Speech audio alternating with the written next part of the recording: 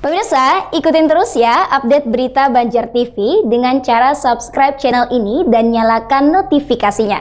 Oh ya, like juga video-videonya, comment and share. Terima kasih.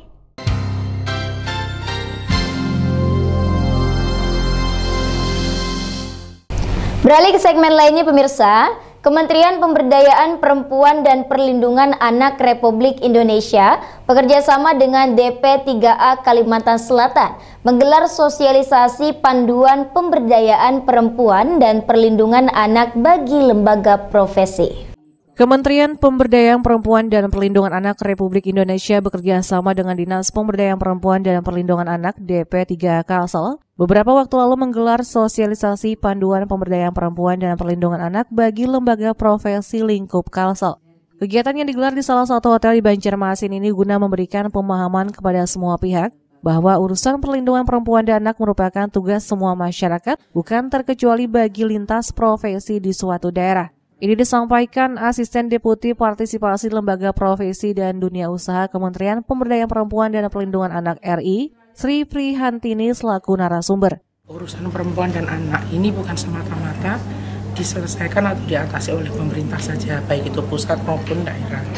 Tapi kami menginginkan agar semua elemen masyarakat itu turut serta uh, uh, ikut ikut uh, merasakan begitu ya untuk sama-sama mencari solusi masalah-masalah uh, uh, yang anak perempuan dan anak.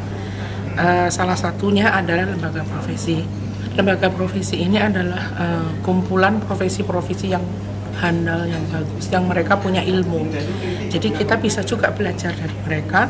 Kita ajak mereka untuk sama-sama mari mengatasi masalah dari berbagai macam ilmu atau dari berbagai macam uh, keprofesian mereka. Melalui partisipasi, salah satunya lintas profesi yang notabene memiliki keilmuan masing-masing bidang, mampu memberikan kontribusi pemikiran jalan atau solusi bagi permasalahan, khususnya yang dialami kaum perempuan dan anak seperti kekerasan yang terjadi.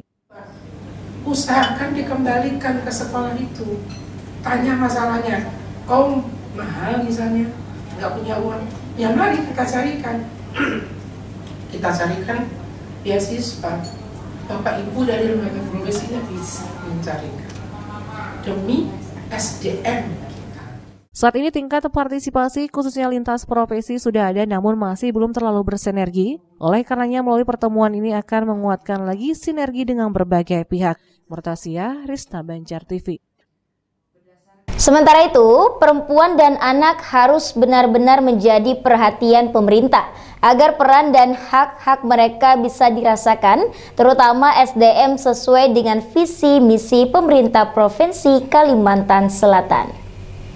Sementara itu, Kepala Dinas Pemberdayaan Perempuan dan Perlindungan Anak DP3 Kalsel Husnul Hatimah menyatakan kegiatan sosialisasi panduan pemberdayaan perempuan dan perlindungan anak bagi lembaga profesi lingkup Kalsel sesuai dengan visi misi pemerintah Kalsel yang mana terus meningkatkan sumber daya manusia. Oleh karenanya perempuan dan anak harus benar-benar menjadi perhatian agar peran dan hak-hak mereka bisa dirasakan. Dengan terpenuhinya hak mereka, otomatis mampu meningkatkan SDM. Nah, eh, perempuan dan anak ini adalah juga bagian sumber daya manusia yang juga harus mendapat perhatian karena berdasarkan data-data tadi perempuan dan anak ini banyak terjadi kekerasan dan diskriminasi untuk dapat uh, melakukan upaya pencegahan maupun penanganan dan memenuhi hak-hak mereka perlu peran serta masyarakat baik perorangan maupun kelompok.